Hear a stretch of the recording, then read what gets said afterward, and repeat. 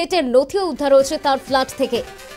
বিস্তারিত জানব, রয়েছে আমাদের প্রতিনিধি বিশ্বজিৎ পাল। বিশ্বজিৎ, যেটুকুনি জানা যাচ্ছে, একজন প্রমোটার অয়নশীল। কিন্তু প্রশ্ন হচ্ছে, একজন প্রমোটার হয়ে তার কাছে কীভাবে স্কুলের নিয়োগ সংক্রান্ত নথি বা পুরসভার নিয়োগ সংক্রান্ত নথি এসে পৌঁছালো? এখন এটাই বড় প্রশ্ন। বিশ্বজিৎ। দেখো নিশা যে যে ঘটনা শান্তনু বন্দ্যোপাধ্যায়ের কাছ থেকে ইডি জানার চেষ্টা করছিল, যে এই মানি ডেলটা কোথায় রয়েছে? এবং সেই মানি ডেলটা যখন খোঁজ করতে গিয়ে দেখা যায় যে অয়ন এর নাম পাওয়া যায়, অর্থাৎ অয়নশীল। সে অয়নশীলের তিনি একজন প্রমোটার এবং তিনিও নিয়োগ দুর্নীতির সঙ্গে যুক্ত, এমনটাই কিন্তু জানতে পারেন ইডি আধিকারিকরা। এরপরে সল্টলেকের তিনশো অষ্টাশি এফডি তিনশো অষ্টাশি যে ফ্ল্যাট রয়েছে মানে যে অফিস রয়েছে অয়নের, সেই অফিসে কিন্তু তারা আনা দেয়। এবং ইডি আধিকারিকরা হানা দিলে সেখানে কিন্তু যে নথি পায়, তা দেখে কিন্তু বা ইডি আধিকারিকরা চম- চমকে যান ওখানে কেন সেখানে নিয়োগ দুর্নীতির মামলায় যে ওএমআর শিটের কথা বারবার করে বলা হয় যেখানে প্রত্যেকটা চাকরি প্রার্থীর যাতে তার সাইন থাকে বা তার ওখানে ফাইনাল এটার উপরে নির্ভর করে চাকরির অনেক কিছুই। সেই ওয়েমার শিট একদম অরিজিনাল ওয়েমার শিট তার বাড়ি থেকে উদ্ধার হয়। সেটা একাধিক ওয়েমার শিট। এছাড়াও একাধিক অ্যাডমিট কার্ড। এবং এগুলো উদ্ধার হওয়ার পাশাপাশি কিন্তু অয়নশীলকে তারা জিজ্ঞাসাবাদ করতে চায় এবং সেখানে না পেলে চুচুড়া থেকে অয়নশীলকে তার এই সল্টলেকের বাড়িতে নিয়ে আসেন তার সাড়ে এগারোটা নাগাদ। এবং সেখানে তাকে দফায় দফায় জিজ্ঞাসা করে কিন্তু সাঁত্রিশ ঘণ্টা ধরে সেই জিজ্ঞাসাবাদ চলে। এবং সেখানে একাধিক কম্পিউটার ছিল। সেই কম্পিউটারগুলোর পাসওয়ার্ড তারা অঞ্চলের কাছ থেকে নেন এবং পাসওয়ার্ড নেওয়ার পরেই যখন কম্পিউটার খোলেন এবং কম্পিউটার খুলে দেখেন যে একাধিক তথ্য সেখান থেকে উদ্ধার হচ্ছে এবং রাজ্যের একাধিক পৌরসভার নিয়োগ তথ্যগুলো সেখানে রয়েছে। অর্থাৎ রাজ্যের একাধিক পৌরসভার যে নিয়োগপত্র, সেই নিয়োগপত্রেরও বেশ কিছু নথি সেখানে পাওয়া গিয়েছে। এবং তার একাধিক আলমারি রয়েছে, সেই আলমারি খুললেও কিন্তু সেখানেও বেশ কিছু নথি পাওয়া যায়। অর্থাৎ প্রায় দেড়শো পাতার সেই নথি সেই নথি তারা বাজেয়াপ্ত করেন। একাধিক আলমারিতে একাধিক কাগজপত্র তারা বাজেয়াপ্ত করেন এবং বাজেয়াপ্ত করে অবশেষে অয়নশীলকে গ্রেপ্তার করে এবং আগামী এক তারিখ পর্যন্ত তারা হেফাজত পায় ইডি।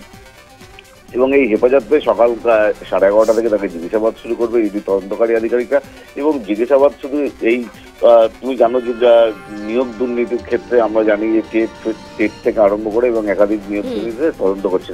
কিন্তু এই ক্ষেত্রে পৌরসভার যে নিয়োগ সেই পৌরসভার নিয়োগও কিন্তু নতুন করে মাথাচাড়া দিয়েছে। কিন্তু আমরা যেটা জানি যে দু হাজার চোদ্দ সালের যে টেট পরীক্ষা সেখান থেকে যখন দুর্নীতি কিন্তু তার বাড়িতে যে কাগজ পাওয়া যায় দু হাজার বারো সালের টেটের দুর্নীতির কাগজও তার বাড়িতে পাওয়া যায়।